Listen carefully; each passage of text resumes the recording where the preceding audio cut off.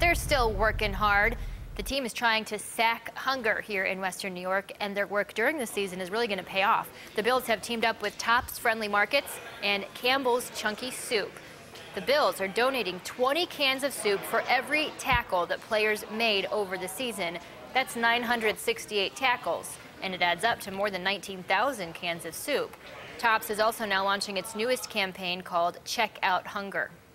We will ask our customers and our associates to donate two, three, and five dollars while customers are checking out at the registers, and that will go back to the food banks in their local areas. So this is a, a statewide program that we do, and it's going to be a great program to help out again those that are less fortunate.